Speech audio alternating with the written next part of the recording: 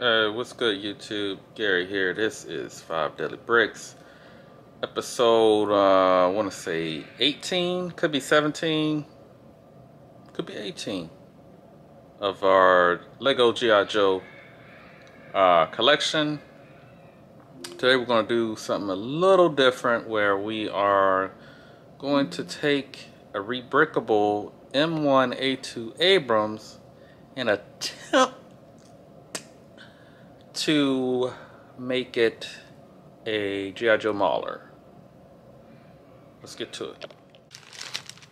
Alright, so I say attempt because we are using medium nougat and you don't really see that color used much often because there's a lot of uh, parts that aren't made in that color. So we're going to try and use some reddish brown, some dark tan, uh, burnt orange I think is the other color I have in here. So we're going to see how well this thing turns out.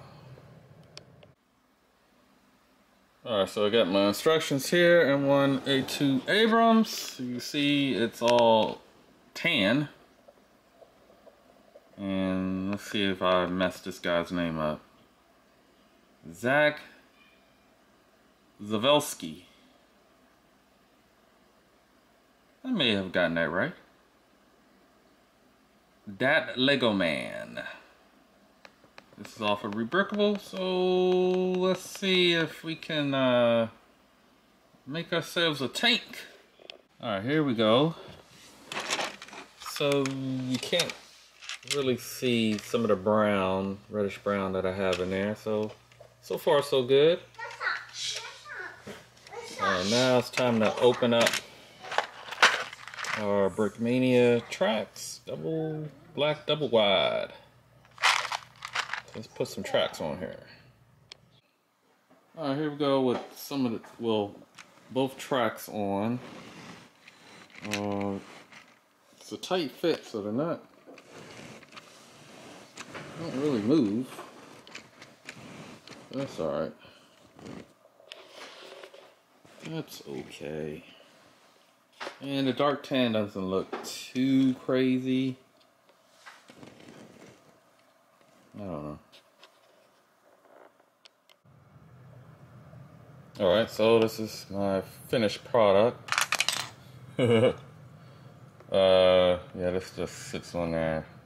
Um, I tried to get the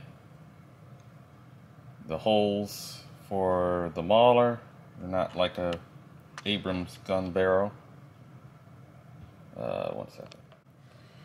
Alright, so this thing is really, really flimsy because, um, like I said, medium nougat, they don't make a lot of the parts, so structurally you know, had to cut corners. But, uh, as far as tanks go, I think this came out pretty well. Ended up with a lot of extra pieces, so let me clean this up and try and put some stickers on him. Alright, so here we have it with the stickers. And I gotta say, uh, with the light, this, uh, I don't know, nougat doesn't quite work. It's not a perfect match, but looks good, you know? And the stickers make it almost legit, you know what I mean? You know what I mean? Let me know in the comments what you think.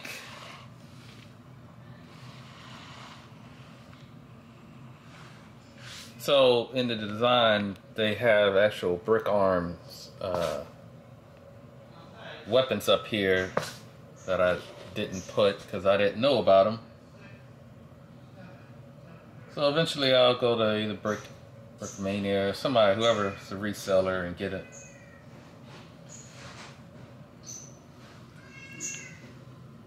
Please like, subscribe.